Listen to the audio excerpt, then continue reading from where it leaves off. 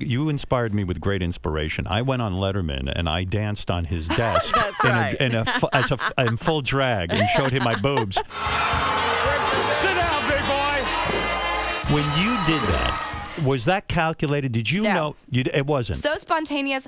I mean, you can see me up there as if I am on a train that I don't know where it's going. Right, and, and and after you do something like that, is it like slow motion? You're you, Yep. you- all right. You're sitting and talking to Dave. Completely outer body. It was Dave's birthday. Yep. And you said, "Hey, Dave, for your birthday, which is a great moment of inspiration on talk shows because it's hard to really make those things fly." Yeah. So you were having fun. Yeah. You jump up on the desk and you you pick up your top and you give Dave a topless dance. I mean, it, It was, was it was a quick Flash. flash. I did this like funny little strip dance with my friend in the Lower East Village. His producers got a hold of the information. Again, this is before internet and you know the, Right. how people found out anything at that point was a mystery. But I was like, yeah, and he was like, you know, can we talk about that on the show? And I was like, yeah, sure, great. And so it just started. I don't know. It was just a runaway train. It evolved.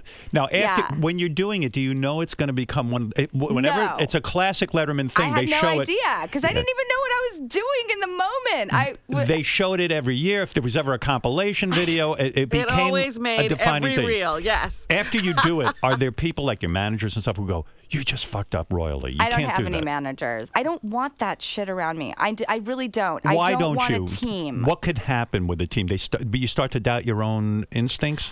No, I just I've got too many of my own, but I want smart people to bounce stuff off of, and I've never been like a please hold my hand. Right. Like I really I want to do things together. I, I want to be a and, you, leader, and you would think you, of all people, would want to be surrounded by those people because you didn't have a mother and father. Now Right. those people would stand in. So I knew like a Hollywood publicist wasn't going to fulfill the mother role. Right. well, that's true. But a Hollywood publicist does help you get work. Sometimes they're in the right party and they mention your name and blah, yeah, blah, blah, blah, blah. but you know, I like to take it all into my own control. when you did the Letterman appearance, did Yeah. you get off and go, oh my God, I just killed it? no, I just, I got off and I was like, holy shit, what did I just do? Um, and when I watched it that night with my friends, as I talk about in that chapter, Yeah. I was like, okay, that was crazy.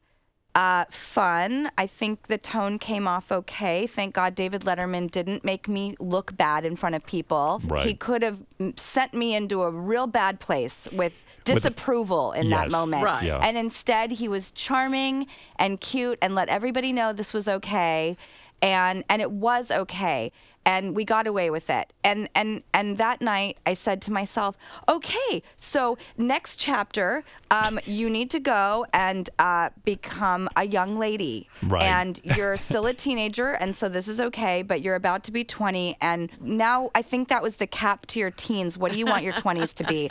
And I immediately went out, and I, I know it was when I found Ever After, I found the path that I wanted to be on. That's int- you mean that led to the path because That you said that's the closing of a wild chapter. It was the closing of a chapter. The symphony like a book. ended. Wow, that's unbelievable to me. And I was like, a little less this, a little more that.